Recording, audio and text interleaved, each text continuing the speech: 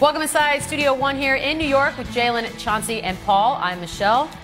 New Orleans Pelicans up nine, but we want to talk a little bit about going places brought to you by Toyota. Look, Anthony Davis has 17. We want us to get that out there, but it's Jrue Holiday that you want to talk Absolutely. about. Absolutely. And the thing about Jrue Holiday, he does it on both ends of the floor.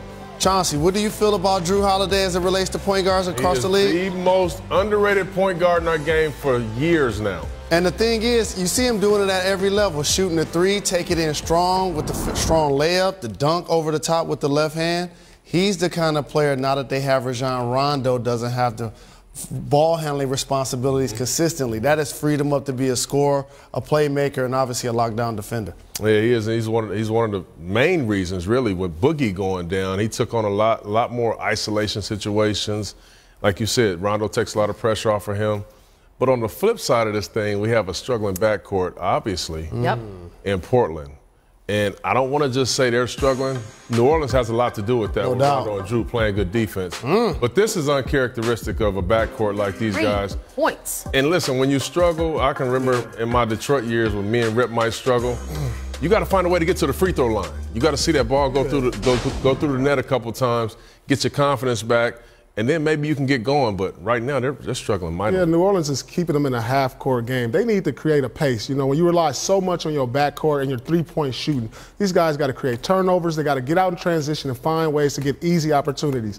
If you keep Portland in a half-court setting with Anthony Davis under there and a lot of people's uh, defensive player of the year, they're going to struggle all night. So they have to figure out how to get going, maybe get the ball inside of Nurkic, you know, play inside and out, but they're going to continue to struggle if they don't find easy opportunities, whether in transition or creating turnovers. And they're lucky to be down nine. I was going to say, if you if you would have said before the game those guys would combine for three points and only be down nine, they're lucky to be shocking. down nine. They really are. The, the, one main reason is Evan Turner. Yep. He's been really, really mm-hmm. good at just scoring the basketball, being aggressive.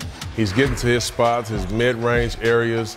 But I tell you, he's just attacking. He's attacking the entire time. And this is what they thought they would get from him when they signed him a couple years ago.